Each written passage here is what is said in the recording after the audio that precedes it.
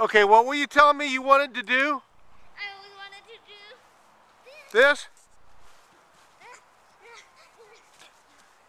Man, like a stunt. Like, try. Go ahead and try it again. Do like a little stunt lady. Okay. Just kind of do it like a stunt. Just kind of go roll over that hill like a stunt kid. Good one. like a rock. Like a rock. Okay.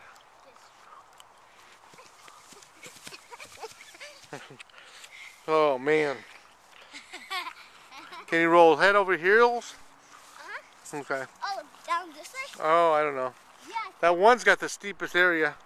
I only got a few minutes left on this thing.